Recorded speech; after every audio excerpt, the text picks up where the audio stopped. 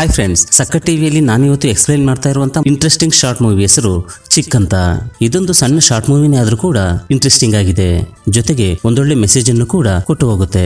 Scene open ಆಗುತ್ತಲೇ ಶ್ರುತಿ ಮತ್ತು ನಿರಂಜನ್ ಅನ್ನುವಂತಹ couple ಅನ್ನು ನೋಡ್ತೇವೆ. ಅವರೀಗ ಹೊಸದಾಗಿ ಮದುವೆ ಆಗಿರುವಂತಹ ನವ ದಂಪತಿ ಜಸ್ಟ್ ಇತ್ತೀಚೆಗೇನೆ ಹನಿಮೂನ್ ಅನ್ನು ಮುಗಿಸ್ಕೊಂಡು ವಾಪಸ್ ಮನೆಗೆ ಬಂದಿರ್ತಾರೆ. ಇನ್ನು ನಿರಂಜನ್ ಒಳ್ಳೆ ರೊಮ್ಯಾಂಟಿಕ್ ಫೆಲೋ ಯಾಕಂದ್ರೆ ಹನಿಮೂನ್ ಅನ್ನ ಮುಗಿಸ್ಕೊಂಡು ಬಂದ ನಂತರವೂ ಕೂಡ ತಮಗೆ ಯಾರು ಕೂಡ ಡಿಸ್ಟರ್ಬ್ ಮಾಡಬಾರ್ದು ಅನ್ಕೊಂಡು ಹೊಸದಾಗಿ ಫ್ಲಾಟ್ ಒಂದನ್ನ ಖರೀದಿ ಮಾಡಿರ್ತಾನೆ. ಮತ್ತು ಹನಿಮೂನ್ನಿಂದ ಬರುತ್ತಲೇ ಶ್ರುತಿಯನ್ನ ಕರ್ಕೊಂಡೋಗಿ ಅವಳಿಗೆ ಬಿಗ್ ಸರ್ಪ್ರೈಸ್ ಕೊಡ್ತಾನೆ. ಆ ಫ್ಲಾಟ್ ಅನ್ನ ನೋಡಿದ ತಕ್ಷಣ ಶ್ರುತಿಯ ಸಂತೋಷಕ್ಕೆ ಲಿಮಿಟ್ ಇರೋದಿಲ್ಲ.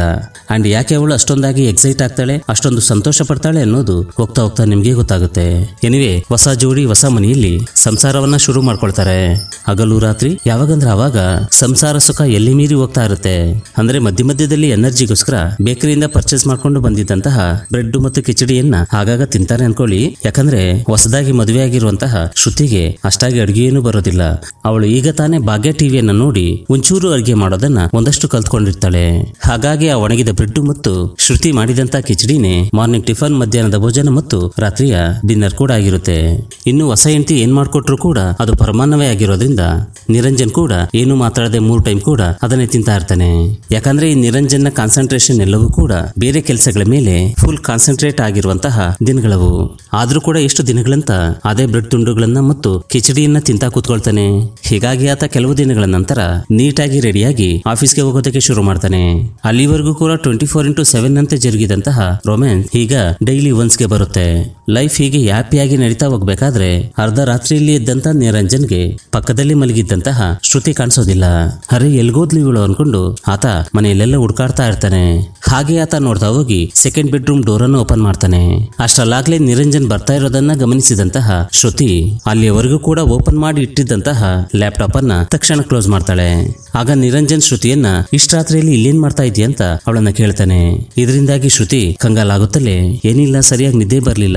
ಹಾಗಾಗಿ ಈ ರೂಮಲ್ಲಿ ಬಂದು ಕೂತ್ಕೊಂಡಿದ್ದೀನಿ ಅಂತ ಹೇಳ್ತಾಳೆ. ಆದ್ರೆ ಶ್ರುತಿಯ ಮುಖದಲ್ಲಿನ ಆಂದೋಲನವನ್ನು ಗಮನಿಸಿದಂತಹ ನಿರಂಜನ್ನ ಮನದ ಮೂಲೆಯಲ್ಲೆಲ್ಲೋ ಒಂದು ಸಣ್ಣದಾಗಿ ಡೌಟ್ ಒಂದು ಶುರುವಾಗುತ್ತೆ. ಅವಳು, ಏನೋ ನನ್ನಿಂದ ಮುಚ್ಚಿಡ್ತಿದ್ದಾಳೆ ಅಂತ. ಒಂದ್ಸಾರಿ ಶುರುವಾದಂತ ಅನುಮಾನದ ಭೂತ ಅವನನ್ನ ಸುಮ್ಮನೆ ಬಿಡುತ್ತಾ. ಆಗಿನಿಂದ ನಿರಂಜನ್ ಶ್ರುತಿಯನ್ನ ಡೀಪ್ ಆಗಿ ಅಬ್ಸರ್ವ್ ಮಾಡೋದಕ್ಕೆ ಶುರು ಮಾಡ್ತಾನೆ. ಸೀನ್ ಕಟ್ ಮಾಡಿದ್ರೆ ಮಾರನೇ ದಿನ ಶ್ರುತಿ ನಿರಂಜನ್ಗೆ ಕಿಚಡಿಯನ್ನ ಬಡಿಸಿ ಮಾಮೂಲಿನಂತೆ ತನ್ನ ಫೋನಲ್ಲಿ ಮಾತಾಡ್ತಾ ಫುಲ್ ಬ್ಯುಸಿಯಾಗಿ ಹೋಗ್ತಾಳೆ. ಕೆಲವೊಂದ್ಸಾರಿ ಅವಳು ಲ್ಯಾಪ್ಟಾಪ್ ಅಲ್ಲಿ ಏನೇನೋ ಮಾಡ್ತಾ ನಿರಂಜನ್ ಅದನ್ನ ಗಮನಿಸುತ್ತಲೇ ತಕ್ಷಣ ಅದನ್ನ ಕ್ಲೋಸ್ ಮಾಡ್ತಾ ಇರ್ತಾಳೆ. ಒಂದೊಂದ್ ಸಾರಿ ಆತ ಆಫೀಸಿನಿಂದ ಮನೆಗೆ ಬಂದು ಎಷ್ಟು ಸಾರಿ ಡೋರ್ ಅನ್ನು ಬಡಿದ್ರು ಕೂಡ ಅವಳು ತಕ್ಷಣ ಬಂದು ಡೋರ್ ಅನ್ನ ತೆಗಿತಾ ಇರಲಿಲ್ಲ. ನಂತರ ಅವನು ಅವಳನ್ನ, ಇಷ್ಟೊತ್ತು ಮನೆಯೊಳಗೆ ಏನ್ ಮಾಡ್ತಾ ಇದ್ದೀಯ? ಅಂತ ಕೇಳಿದಾಗ, ಅದಕ್ಕೆ ಭಯ ಪಡ್ತಾ ಇದ್ದಂತ ಶ್ರುತಿ ಏನೇನೋ ಉತ್ತರಗಳನ್ನ ಕೊಡ್ತಾ ಹೀಗಾಗಿ ನಿರಂಜನ್ ಒಂದಿನ ರಾತ್ರಿ ಶ್ರುತಿ ಬಾತ್ರೂಮ್ಗೆ ಹೋದಂತ ಟೈಮಲ್ಲಿ ಅವಳ ಫೋನ್ ಅನ್ನ ಚೆಕ್ ಮಾಡ್ತಾನೆ. ಅದರಲ್ಲಿ ಶ್ರುತಿ ಯಾವಾಗಲೂ ಕೂಡ ಮಾತಾಡ್ತಾ ಇದ್ದಂತಹ ಒಂದು ಫೋನ್ ನಂಬರ್ಗೆ ಕಾಲ್ ಮಾಡ್ತಾನೆ. ಆ ಕಡೆಯಿಂದ ಹಲೋ ಅಂತ ಗಂಡಸಿನ ಧ್ವನಿ. ದಟ್ಸ್ ಇಟ್ ಆ ಗಂಡಸಿನ ಧ್ವನಿ ಕೇಳುತ್ತಲೇ ತಾನಿಷ್ಟು ದಿನಗಳಿಂದಲೂ ಕೂಡ ಅನುಮಾನಿಸ್ತಾ ಇದ್ದಿದ್ದು ನಿಜ ಆಯ್ತು ಅನ್ಕೊಳ್ತಾನೆ. ಇಲ್ಲಿಂದ ನಿರಂಜನ್ನ ಮನಸ್ಸು ಕಂಪ್ಲೀಟ್ ಬದಲಾಗಿ ಹೋಗುತ್ತೆ. ಆತನಿಗೆ ಏನು ತಿನ್ನೋದಕ್ಕಾಗಲ್ಲ, ಇಲ್ಲೂ ಕೂಡ ಕೂತ್ಕೊಳ್ಳೋದಕ್ಕಾಗಲ್ಲ. ಸದಾಕಾಲ ಅವನೊಳಗಿನ ಅನುಮಾನದ ಭೂತ ರೆಕ್ಕೆ ಬಿಚ್ಚಿ ಕುಣಿತಾ ಇರುತ್ತೆ. ಒಂದ್ ವೇಳೆ ಅಕಸ್ಮಾತ್ ಆಗಿ ಅವನ ಮನೆಯ ಮುಂದೆ ಯಾರಾದ್ರೂ ನಡ್ಕೊಂಡು ಹೋಗ್ತಾ ಇದ್ರು ಅನ್ಕೊಳ್ಳಿ. ಇವ್ನ ಯಾರಿರ್ಬೋದು ರೋಡಲ್ಲಿ ನಡ್ಕೊಂಡು ಹೋಗ್ತಾ ಹೋಗ್ತಾ ನನ್ನ ಮನೆ ಕಡೆನೇ ಯಾಕೆ ನೋಡ್ದ? ಒಂದ್ ವೇಳೆ ನಾನು ಮನೆಯಲ್ಲಿ ಇರದಂತ ಟೈಮಲ್ಲಿ ಮತ್ತು ನಾನು ಆಫೀಸ್ಗೆ ಹೋದಂತ ಟೈಮಲ್ಲಿ ನನ್ನ ಮನೆಯೊಳಕ್ಕೆ ಬಂದು ನನ್ನ ಹೆಂಡತಿ ಜೊತೆ ಮಿಂಗಲ್ಗೆ ಮಾಡಿ ಹೋಗ್ತಾ ಇರೋದು ಇವನೇ ಇರ್ಬೋದಾ? ಎಸ್, ಖಂಡಿತವಾಗ್ಲು ಇವನೇ ಆಗಿರ್ತಾನೆ. ಯಾಕಂದ್ರೆ ಅವ್ನು ನಮ್ಮನೆ ಕಡೆನೆ ನೋಡ್ತಾ ಹೋಗ್ತಿದ್ದಾನೆ. ಅಂದ್ರೆ, ನಾನ್ ಕಾಣಿಸಿದ್ರಿಂದ ಬಂದಿಲ್ಲ. ಒಂದ್ ವೇಳೆ ನಾನು ಇಲ್ದೇ ಇದ್ದಿದ್ರೆ ಅವನು ಈ ಮನೆಯೊಳಕ್ಕೆ ಬಂದೇ ಬರ್ತಿದ್ದ ಅಂತ ನಿರಂಜನ್ ಮನಸ್ಸಿನೊಳಗೆ ಏನೇನು ಲೆಕ್ಕಾಚಾರಗಳನ್ನ ಆಗ್ತಾ ಆಗ್ತಾ ಖುದ್ದು ಹೋಗ್ತಾ ಇರ್ತಾನೆ. ಹೋಗ್ಲಿ ಈ ವಿಷಯದ ಬಗ್ಗೆ ತನ್ನ ಹೆಂಡತಿ ಹತ್ರ ಡೈರೆಕ್ಟ್ ಆಗಿ ಕೇಳ್ತಾನೆ ಅನ್ಕೊಂಡ್ರೆ ನೋವೇ ಯಾಕಂದ್ರೆ, ಈ ಕಳ್ಳ ವ್ಯವಹಾರವನ್ನ ಡೈರೆಕ್ಟ್ ಆಗಿ ನಾನೇ ಕಂಡುಹಿಡಿಬೇಕು ಅಂತ ದೊಡ್ಡ ಡಿಟೆಕ್ಟಿವ್ ತರ ಹೊಂಚಾಗ್ತಾ ಇರ್ತಾನೆ. ಹೀಗಾಗಿ ಆತ ಮನೆಗೆ ಬರುತ್ತಲೇ ದೊಡ್ಡ ಡಿಟೆಕ್ಟಿವ್ ತರ ಕಬೋರ್ಡ್ ಗಳನ್ನ ಓಪನ್ ಮಾಡಿ ನೋಡ್ತಾನೆ. ಒಂದ್ ವೇಳೆ ಮಂಚದ ಕೆಳಗೆ ಯಾರಾದ್ರೂ ಇರ್ಬೋದು ಅಂತ ಮಲ್ಕೊಂಡು ನೋಡಿ ಅದನ್ನ ಚೆಕ್ ಮಾಡ್ತಾನೆ.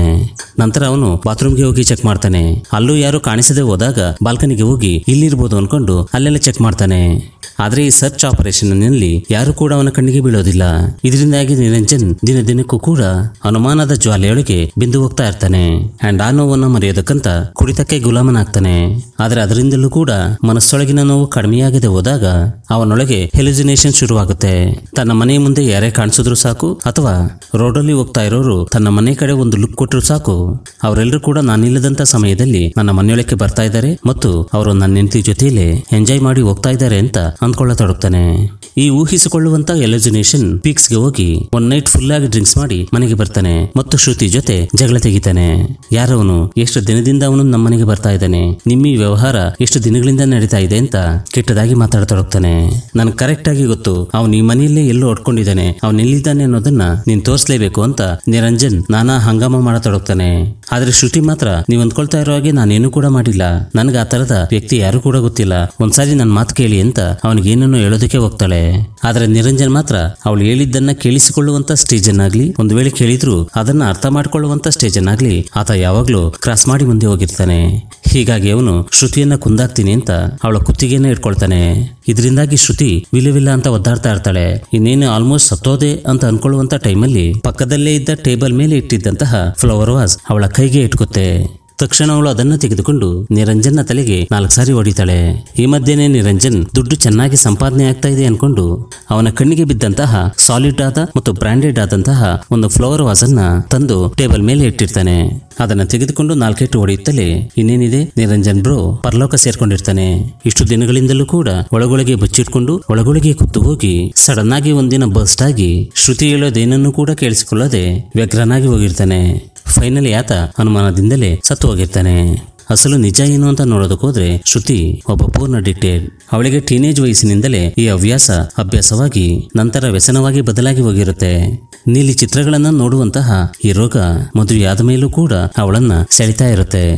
ತನ್ನ ಗಂಡ ನಿದ್ದೆ ಮಾಡಿದ ನಂತರ ಮತ್ತು ತನ್ನ ಗಂಡ ಆಫೀಸಿಗೆ ಹೋದ ನಂತರ ತನ್ನ ಲ್ಯಾಪ್ಟಾಪ್ ಅನ್ನ ಮುಂದೆ ಓಪನ್ ಮಾಡಿಕೊಂಡು ಚಿತ್ತಾಗ್ತಾ ಇರ್ತಾಳೆ. ಆದ್ರೆ ಈ ವಿಷಯವನ್ನ ಆಕೆ ತನ್ನ ಗಂಡನ ಹತ್ರ ಹೇಳ್ಕೊಳ್ಳೋದಕ್ಕೆ ಭಯಪಡ್ತಾ ಇರ್ತಾಳೆ. ಆದ್ರೆ ನಿರಂಜನೇನು ಅವಳು ಯಾವಾಗ್ಲೂ ಕೂಡ ಲ್ಯಾಪ್ಟಾಪ್ ಓಪನ್ ಮಾಡಿ ನೋಡ್ತಾ ಇರೋದು ಮತ್ತು ತಾನು ಬಂದ ತಕ್ಷಣ ಅದನ್ನ ಸಡನ್ ಆಗಿ ಕ್ಲೋಸ್ ಮಾಡೋದನ್ನ ನೋಡಿ ಅನುಮಾನ ಪಡ್ತಾ ಇರ್ತಾನೆ. ಇನ್ನು ಶ್ರುತಿ ಯಾವಾಗ್ಲೂ ಕೂಡ ಮಾತಾಡ್ತಾ ಇದ್ದಿದ್ದು ತನ್ನ ಆಪ್ತ ಗೆಳತಿಯೊಂದಿಗೆ. ಆ ದಿನ ರಾತ್ರಿ ಅವಳನ್ನ ಚೆಕ್ ಮಾಡಬೇಕು ಅನ್ಕೊಂಡು ನಿರಂಜನ್ ಅವಳ ಫೋನ್ ಅನ್ನು ತೆಗೆದುಕೊಂಡು ಒಂದು ನಂಬರ್ಗೆ ಕಾಲ್ ಮಾಡಿರ್ತಾನೆ. ಆ ಟೈಮಲ್ಲಿ ಅವನಿಗೆ ಒಬ್ಬ ಗಂಡಸಿನ ಧ್ವನಿ ಕೇಳಿಸಿರುತ್ತೆ. ಆದರೆ ಅದೇ ರೋಲ್ ಆತ ಅವಳ ಆಪ್ತ ಸ್ನೇಹಿತೆಯ ಹಸ್ಬೆಂಡ್ ಆಗಿರ್ತಾನೆ. ಇದೆಲ್ಲವನ್ನೂ ಕೂಡ ಅಪಾರ್ಥ ಮಾಡಿಕೊಂಡಂತಹ ನಿರಂಜನೊಳಗಿನ ಅನುಮಾನ ಪೀಕ್ಸ್ಗೆ ಹೋಗಿರುತ್ತೆ. ಫೈನಲಿ ಅವನ ಸಾವಿನೊಂದಿಗೆ ಎಂಡ್ ಆಗಿರುತ್ತೆ ಇವರಿಬ್ಬರು ಕೂಡ ಮದುವೆ ಆಗುತ್ತಲೇ ಗ್ಯಾಪೇ ಇಲ್ದಂತೆ ರೊಮ್ಯಾನ್ಸ್ ಮಾಡಿರ್ತಾರೆ. ಆದರೆ ಅವರಿಬ್ಬರ ನಡುವಿನ ಕಮ್ಯುನಿಕೇಶನ್ಗೆ ಟೈಮನ್ನ ಕೊಟ್ಟಿರೋದಿಲ್ಲ. ಈ ಕಮ್ಯುನಿಕೇಶನ್ ಸರಿಯಾಗಿ ಇಲ್ಲದೆ ಹೋಗಿದ್ದರಿಂದಲೇ ಇವರಿಬ್ಬರ ನಡುವಿನ ಅನುಮಾನ ಭಯ ದೊಡ್ಡದಾಗಿ ಬೆಳೆದು ಫೈನಲಿ ದುರಂತವಾಗಿ ಅಂತ್ಯವಾಗಿರುತ್ತೆ.